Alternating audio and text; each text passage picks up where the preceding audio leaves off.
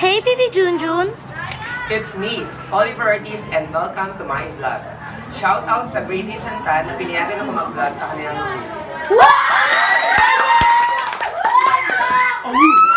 So for today's video ay hindi muna tayo gagawa ng challenge, kundi mag-feature tayo ng magagaling na estudyante na wala sa Great Hits and Tan. So hindi na natin ito patatagalin pa, pakilala na natin ang ating guest ngayong magang ito. Got a new song. And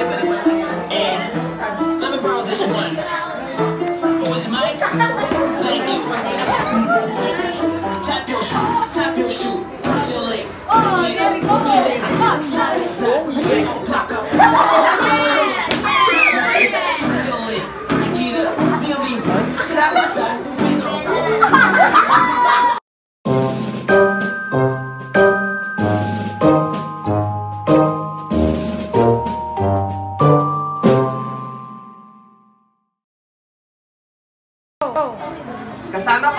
Jeric Doncillo at Lance Timogan. So si Jeric Doncillo ay magaling sa larangan ng matematika at si Lance naman ay magaling sa larangan ng sien siyensiya.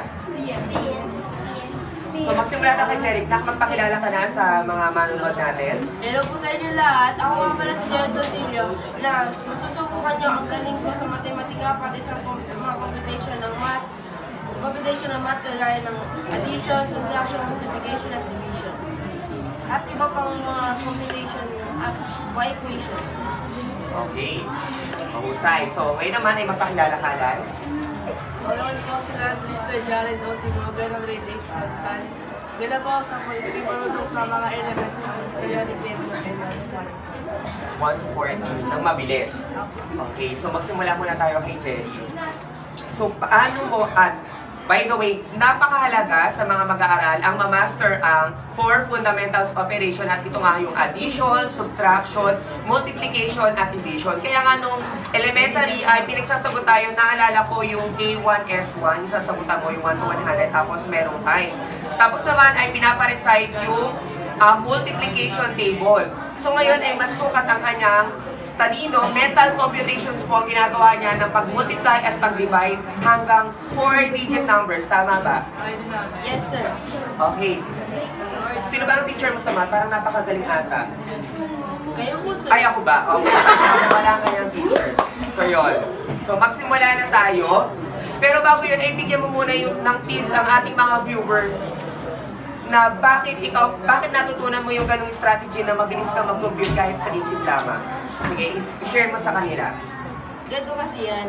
Yung kasi yung utak ko, kung nagkakarinig ako ng mga numero, kahit pinap, kunya, pinasabi niya, pinasabi ni sir na number, 1 times 75. Kung nakakupit agad, parang ikaw on convert siya, o yung calculator, na parang mabilisan na talaga yung sagot, at diretso agad sa, sa bunganga ko. At sasabi ko agad yung sagot.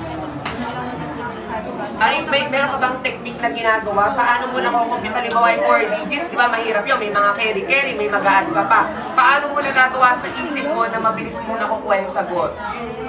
Parang sa isip ko lang po, parang parang sa mabilisan ng competition, hindi ko talaga, parang hindi ko po talaga alam na may ganun talaga sa utak ko, ganyan.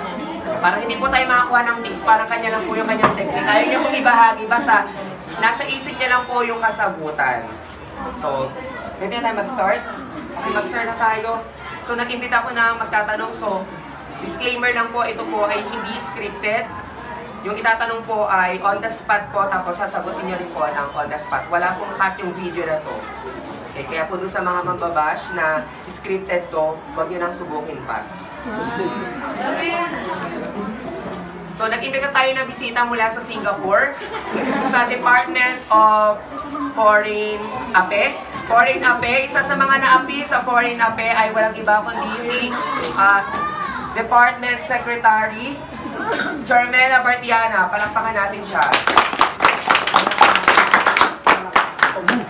Pakilala ko muna Ella sa vlog. Hi! Ako po si Jarmela H. Barchana. Ako po yung magsisilbing... Gabay, patungo sa pag-asenso. May puhunan. Malalaman po natin kung tama po yung magiging sagot ni Jerry, gamit po yung calculator na Oh, nandito. ipapakita niyo po yung kasagutan. Oh, magsimula na tayo. 9,653 times 7. 9,600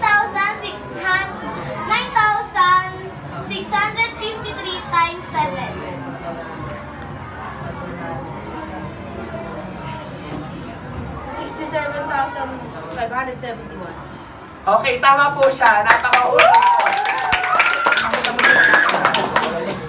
Ayan. Tama po. Galing. Pakala mo katanungan. 1,397 plus 700, 7,593.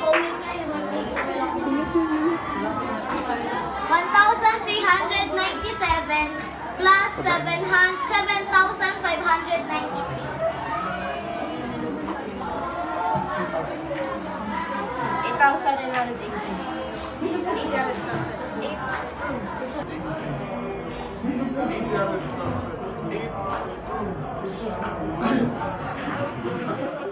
So habang nag-vlog po kami, ay bigla po umusok ang kanyang utak. Ulitin ko. 1,000. Na pwede ka muna maglaba dyan. Habang nag-aantay. 8,562 times 75. 8,562 times 75. Six hundred forty-two thousand one hundred fifty. Tama.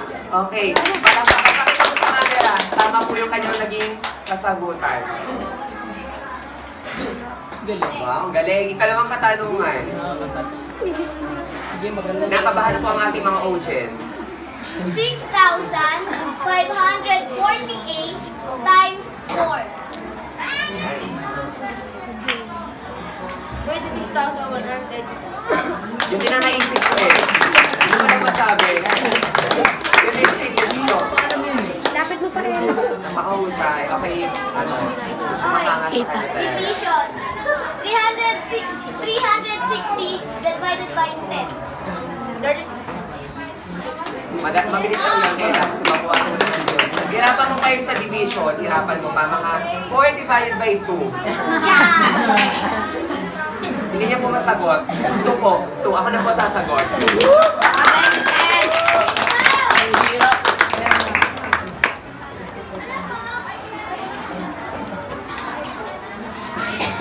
Facebook na po siya. 4,568 divided by 8. Kunyari po ako. Five hundred seventy-one. Oh, 571 nga. Nawala ako ng 1 second. 650 plus 1,456. 650 plus 1,456. Two thousand one hundred sixty. Oo, oh, sabi na nga pati. Okay, okay na po siya. Napakahusay. Ulit palakpakan natin si Jerry Castillo. Ay, So ngayon naman ay papakitaan tayo ng talento ni Lance, ni Morgan. So hindi niya din alam na siya ay mauon the spot ngayon para i-resign. So titingnan natin kung naaalala niya pa kasi ito ay ginawa namin noong 2005 pa. Noong 2005 pa namin ginawa to. So i-resign niya ngayon on the spot. Wala ka review-review ang 40 elements in the periodic table, symbol, and the name of the element. So handa ka na? Bibili na ako ha, okay. Magbibili na ako ng 1 to 100. Pag 100 na cannot sing that. Ready?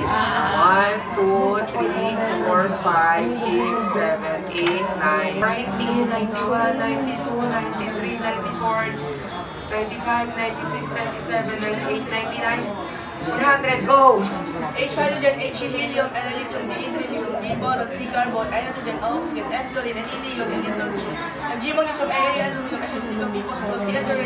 PRR, yung potassium, C, calcium, SS calcium, D, ITK, yung B, malendium, CR, chromium, MN mangali, CO, cobaltine, NI, Telex, copper, C, and G.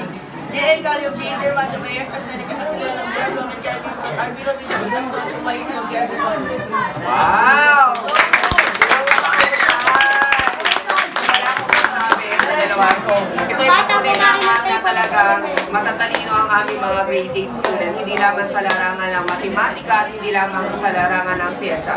Lalo na, ah, maging sa ibang kasignatura. Okay. okay, sige. So, bago tayo magpaalam sa vlog na to, ay ano muna, ano muna yung gusto mong sabihin sa mga kabataan ngayon? So, sa kapwa mo, estudyante or mga grade 8 student, ano yung gusto mong ibahagi sa kanila or mga aral? Dapat talaga ano, dapat talaga yung mag-review na mag-review kahit hindi test dahil dahil ito talaga yung pangpasok sa isipan natin. Kahit, kahit hindi kayo masyado matalino, dapat dapat natin pag pag-aralan lahat ng tinuturo sa atin ng teacher, lalo na sa ibang sa, lalo na sa mga walong subject o sa mga siya. Dapat natin i-review natin yan para pumasok ka taon nila, sa pag-aralan na lang. Kaya nag-review siya lagi sa bahay nila. Ganun po dapat. Ba't si Lance lang ako ba walang alam? Eh, Siyempre po, sir. Ayun.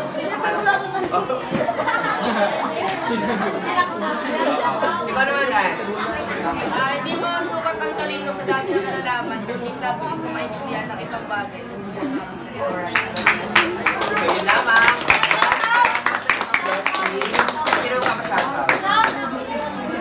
out sa mga grade 8 Santan, Darlene Esperanza, Jero Ayla,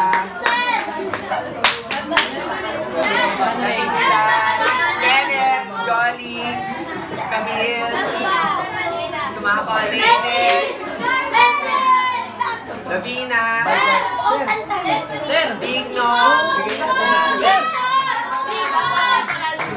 Esperanza. Shoutout kay Malandi at Oh, mag-shoutout ka naman basketball. Shoutout nga pala kay sa, sa mga tropang Dennis, Alvin, Ayan, ako yan. Dennis, Ramsey, at sa lahat sa sa shoutout na lahat! Shoutout kay Malandi, hindi kayo hindi niya pa pinabayaran. Hindi.